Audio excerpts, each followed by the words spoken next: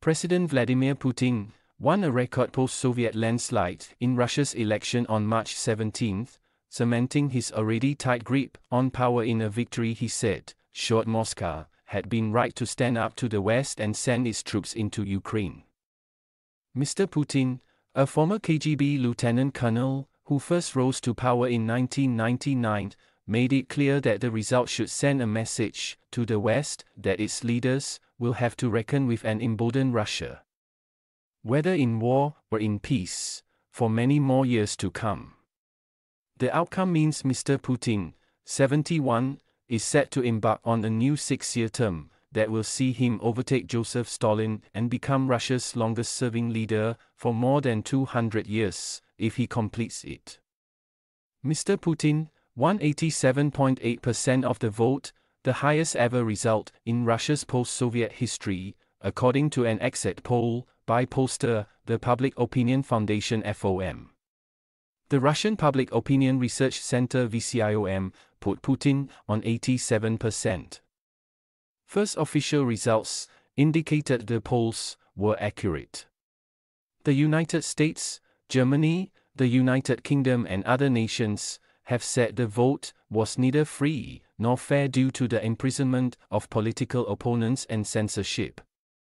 Communist candidate Nikolai Kharitonov finished second, with just under 4%, newcomer Vladislav Davankov third, and ultranationalist Leonid Slutsky fourth, partial results suggested.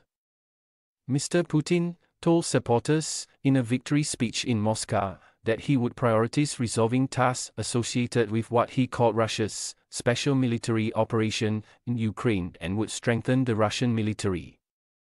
We have many tasks ahead. But when we are consolidated, no matter who wants to intimidate us, suppress us, nobody has ever succeeded in history, they have not succeeded now. And they will not succeed ever in the future, said Putin.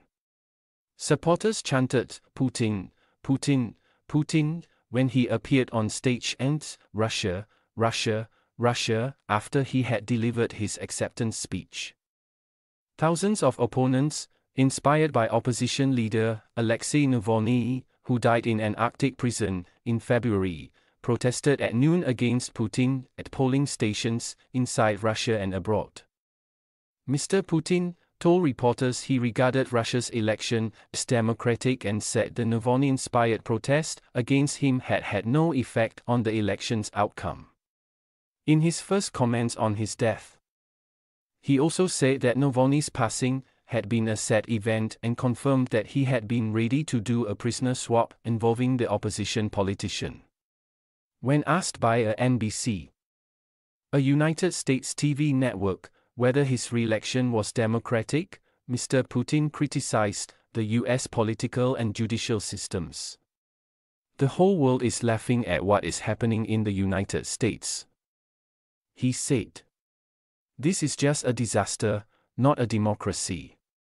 Is it democratic to use administrative resources to attack one of the candidates for the presidency of the United States? Using the judiciary, among other things, he asked, making an apparent reference to four criminal cases against Republican candidate Donald Trump. The Russian election comes just over two years since Mr. Putin triggered the deadliest European conflict since World War II by ordering the invasion of Ukraine. War has hung over the three day election. Ukraine has repeatedly attacked oil refineries in Russia, shelled Russian regions, and sought to pierce Russian borders with proxy forces, a move Mr. Putin said would not be left unpunished. He said Russia might need to create a buffer zone inside Ukraine to prevent such attacks in future. While Mr. Putin's re-election was not in doubt given his control over Russia and the absence of any real challenges.